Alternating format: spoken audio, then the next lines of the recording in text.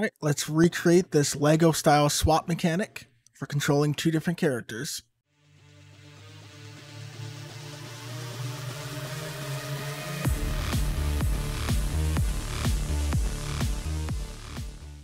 Alright, so if you don't know, the LEGO swap mechanic that what I am referring to is the swapping system from pretty much every single LEGO game. So in these LEGO games, if you've never played them, you get two characters, and of course you can swap them out to different characters. In this case, we've got Batman and um, I'm assuming that's a Robin over there. Yeah, so it's right there, it's low quality uh, viewing up here, but um, at this point, if nobody's controlling the second character, you can hit the swap button, and you see we get these little particles. In this case, uh, it's three little balls, and they have trails, and they're going to go from the character that you are contr currently controlling, and they're going to shoot over to the character you're swapping to, and then you'll be able to move that character. Right, and as you see, they're uh, they hit the button multiple times, jumping back and forth. And basically, when you're not controlling the character, that controller, that character is then controlled by AI. And all I'm doing for that, just to show you that I don't, when I do have control, when I don't, is I'm just rotating my sprite.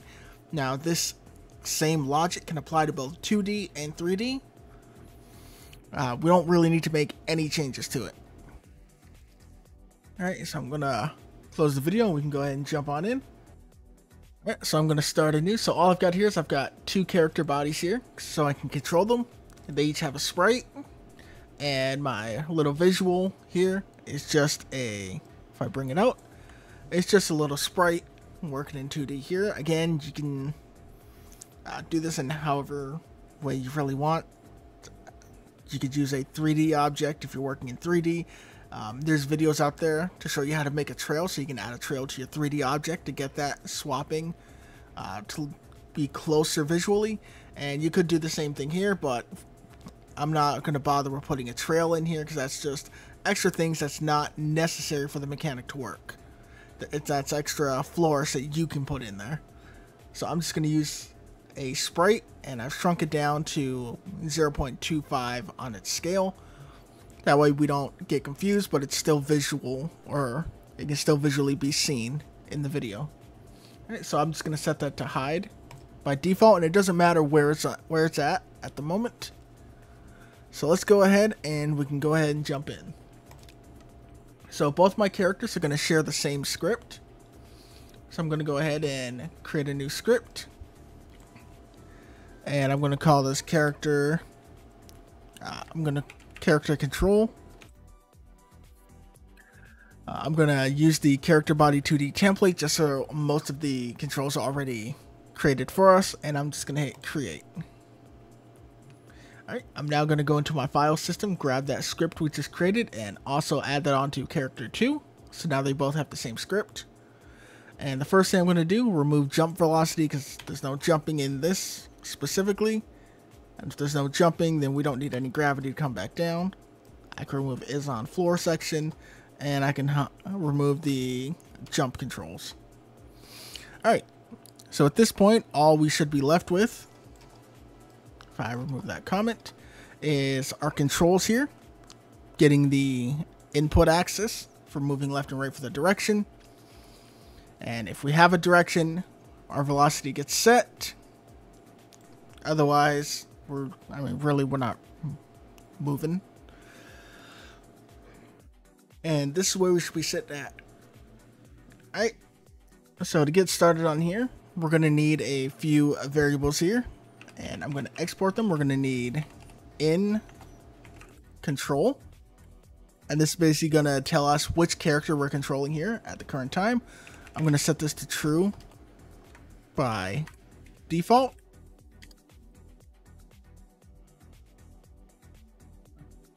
Got the word var in there. And then I'm going to click over to character 2. And I'm going to look in the inspector and turn in control and uncheck it. So now it's false for character 2 and true for character 1. Alright. So next, I'm going to go ahead and get a hold of the other character. So export var. And I'm just going to call this other character, and this is of course going to be a character body 2D. If you're working in 3D, this can be a character body 3D. And with that exported, I can go ahead and just go into the inspector, and on character 1, I'll hit assign and select character 2. On character 2, I'll go in the inspector, hit assign, and select character 1. Alright, so now other character is referencing each other. Character 2 is referencing character 1, character 1 is referencing character 2. Alright. And the only other variable we need here, um, we can just go ahead and use non-ready if you wanted to. Uh, you can use an export as well, it doesn't really matter, I just don't want to set it on both characters. So I'm just going to use an on ready today. And I'm going to call this swapper, and this is going to be our visual swapper that we're using, which in my case is just a sprite 2D. And that's going to be a get parent dot get node and visual swapper. There we go. And those are the only variables we're going to need. If you want to avoid magic numbers, then you could create one more in here uh, just for a uh, transition time or swapping time. Uh, if you wanted to do, to do that, to remove any fact of magical numbers, as they're called. But that's completely up to you. I'm not going to do it for this one. And first thing we need to do, if we go ahead and play this scene and take a look, we'll notice both of our characters are moving, which makes sense. They're sharing the same script. So what we need to do is we need to make it so that we only control one character at a time. And the easiest way for us to do this is just to grab everything inside of our physics process here. Tab to move it in one. And we're just sticking all of that inside of an if statement saying if in control. That's all we have to do. And now when we run it, you'll see when we try to move, we'll only be moving one character. Because character 2 should have that set to false by default. And I'm going to get rid of that debugger at the bottom by putting an underscore there. But with that, you see we can only move one character. So now you'll see if if in control is true on character 1, we'll control that. If it's true on character 2, we'll control that one. So if you got this far and your both of your characters are still moving, then you need to go back to character 2, check in the inspector, and make sure you have in control unchecked. Alright, so next up, I'm going to go ahead and I'm going to use the input function. Now, we could st just stick this inside a physics process. It's perfectly fine. But I'm going to go ahead and just go ahead with func input. And I'll put an underscore there because I'm not going to use the input uh, argument. And to know ahead of time, I did create a an action. So I went into my input mapper in the project settings and I added a action called swap. And for me, I set that to my R key. And all I'm going to do here now, so I'm going to say if input dot is action just pressed. I could use just released. Both of these will work, but you do not want to go with pressed here because pressed would imply that it's held down and we don't want that. Pressed is when you push the button down and just released is when you lift up off of the button so the button comes back up. So this is a little bit of a personal preference. Doesn't matter a whole lot. I'm just going to go with pressed. Put my swap action in there. And something that I want to put in is and in control. Right, so if we're controlling this character and we press our swap button, then we want something to happen.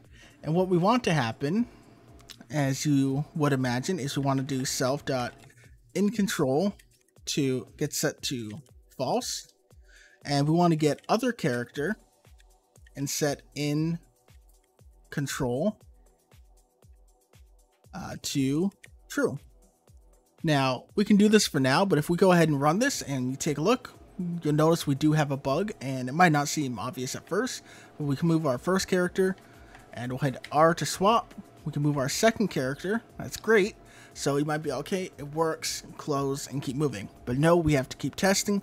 We hit our swap button again, and oh, look at that. We're still controlling the second character, no matter how many times I try to hit this swap button.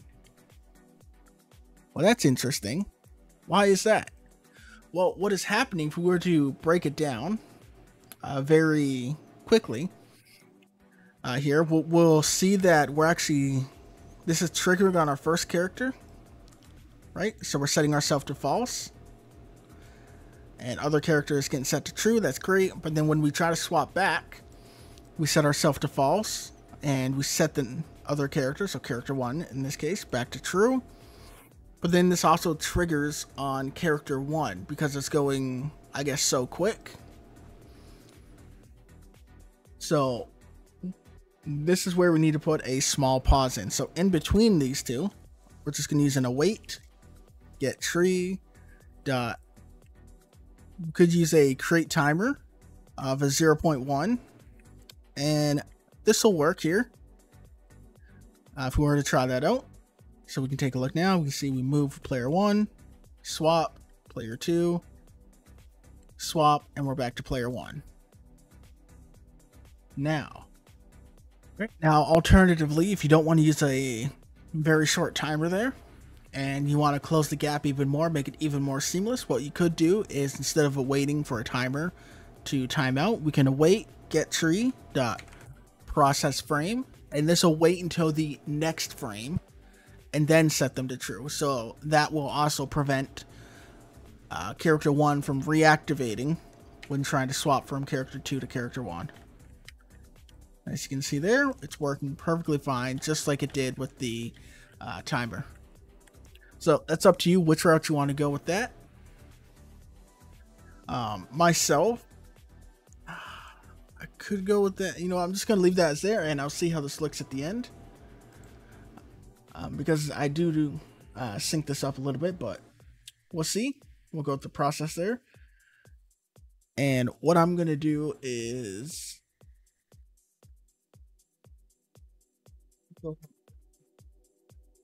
well, at this point, this is perfectly working. Um, to show this a little more visually, I'll go ahead and add the rotation that you saw in the beginning. So if in control, we have our options, else, and this I'm just going to set self dot rotation degrees plus equals one. So that's going to have the character rotating around. So inside of this else block here is where you want to have whatever AI logic you want for the character when you're not controlling them. Alright, so hopefully that makes that a little clearer. And all that's left is for us to have that visual indicator for our swapper jumping from point A to point B. Right, so the first thing we're going to do is create a tween. So var t equals create tween. And we're going to go ahead and set swapper dot visible to true because we want it to be shown now. We're then going to make sure its position is set. So swapper dot global position equals self dot whoops, global position, right? So now we're going, we're on whatever character we're controlling, and now we need to move it. And we need to do this dynamically because we don't know where this character is going to be at, right? So we'll go ahead and do T for our tween dot uh, tween property. The object that we want to tween is going to be our swapper. The property we want to tween is the position. The final value that we want is going to be on other character dot global position. And the duration we want it to take place, I'm going to use 0.1. Uh, but if you're having, if you have the frames locked, say at 60, then you can go ahead and I believe 0.0 uh, one six is that I, think that's 60 frames. Uh, there might be another zero in there, not 100% sure there, but I'm just going to go ahead and set it to 0.1 and see how that looks. And we do need to make sure of one more thing here. Need to await for our transition to our tween to finish here. So await t dot finished. And then we'll go ahead and hide our swapper again. So swapper dot visible equals uh, false. You could also do swapper dot hide and swapper dot not show up here if you wanted to, but I tend to go with true and false myself. All right, so let's go ahead and see what that looks like. All right, so we're moving around. Looks great. I swap, and there you go. So you can see our little uh, transition visually, and we gain control of the other character. All right, so you can easily take this approach and apply this to 3D, and it'll work uh, exactly the same. Obviously, you're not going to go global position here. You're going to be looking at going through, uh, or possibly going through all your other situations. Maybe you're using basis, uh, for example. Um, but either way, that's gonna that's just one of those small nuances when you're going from 2D to 3D. Completely up to you, uh, and the way your systems and that are set up. The only other change that you would really need here is of course, instead of a 2D, you'd be getting a 3D character. Uh, but everything else would pretty much remain the same. Your swapper is probably going to be different. It's probably going to be not a sprite 2D. Or could be a sprite when it's in 3D as well, I suppose. Um, but with that, hopefully that uh, makes sense to you guys. And with that, I'll say take care. Have yourselves a good one. And hopefully you guys learned something from this.